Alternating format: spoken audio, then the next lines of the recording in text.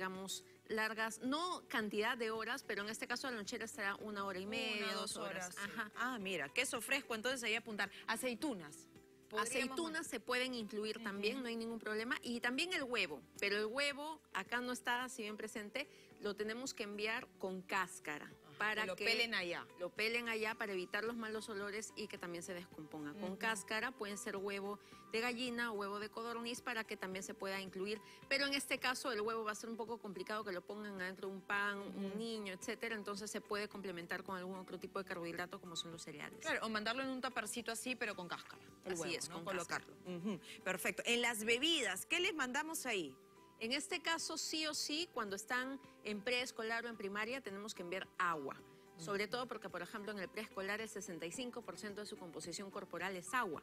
Es decir, tiene una mayor cantidad de agua en el cuerpo y necesita hidratarse de forma continua. Y cuando ya va creciendo, por ejemplo, en secundaria, además del agua, yo puedo enviar algunos otros, digamos, preparados a base de cereales andinos que brindan energía, porque en secundaria recordemos que están más horas, en el colegio y necesitan energía y algunos alimentos que van a nutrir también al niño con proteínas de origen vegetal y también con energía. Y para los pequeñitos, inicial, que es ahí también donde nos preocupamos muchísimo qué mandarle. Por ejemplo, esto es maca, ¿no? Ahí está.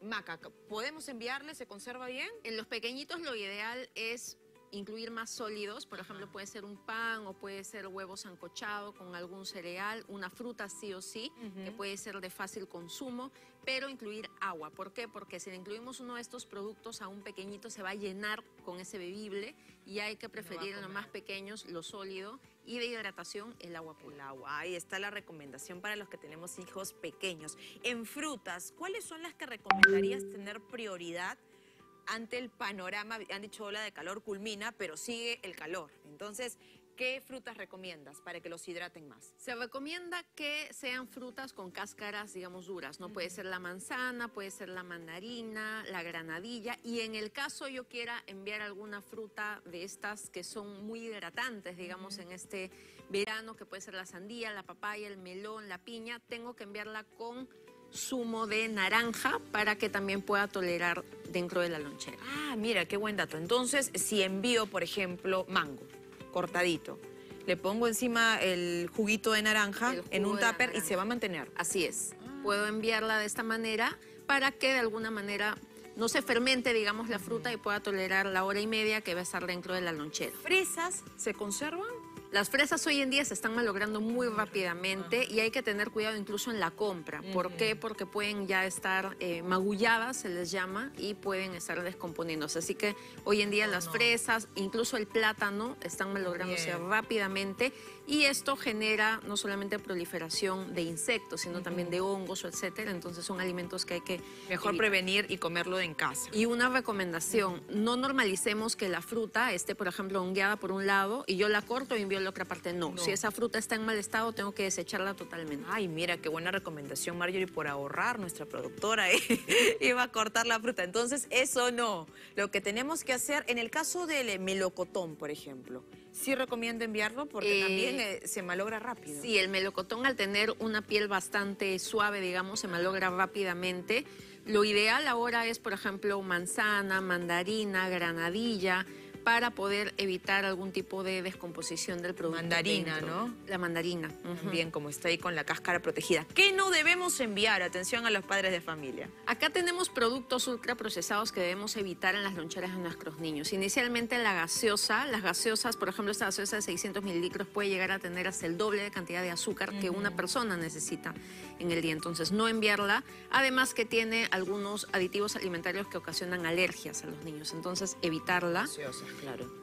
Por otro lado, este tipo de snacks que tienen excesiva cantidad de sodio, también de algunos colorantes como la tartracina que ocasionan también alergias a los niños y grasas trans, evitarlas. Puede ser más práctico comprarlas, pero deberíamos evitarla porque el niño al fin y al cabo va a terminar generando desde sobrepeso, obesidad hasta, hasta otro tipo de enfermedades. Y por último, el tema de los embutidos. Los embutidos no reemplazan a la carne y eso es importante considerarlo, ni al huevo, ni al queso, ni al pollo. Y este tipo de embutidos, por más que diga ahí que es de pavita, de pollo, etcétera, no reemplazan a la carne, pero además tienen excesiva cantidad de sodio y excesiva cantidad de aditivos alimentarios, como son los nitritos y nitratos, y pueden generar mayor incidencia de cáncer, por ejemplo, algunos tipos de cáncer. Hoy en día el cáncer de colon está incrementando sí, en, en, personas más jóvenes, así que hay que evitar ese tipo de productos y normalizar que vayan en las loncheras, porque a veces se pone como una opción de proteína, entre comillas, pero no reemplaza No esa. Mira, eh, había muchas personas también que envían pan con atún. Sí, el atún se podría incluir también, pero con gotitas de limón.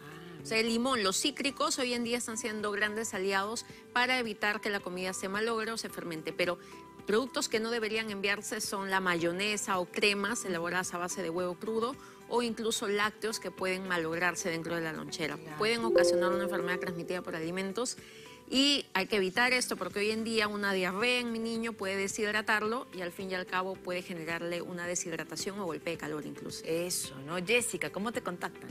Bueno, pueden contactarnos en las redes del Colegio de Nutricionistas de Lima o el Consejo Regional Lima Metropolitana del Colegio de Nutricionistas para poder tener más tips de la alimentación saludable, sobre todo en este verano. Así es, sobre todo en este verano. Ya han visto, miren, un taparcito con agua se convierte en clave e ideal para nuestros hijos. Y vamos ahora a cambiar de tema. Gracias, Jessica, por estar con nosotros.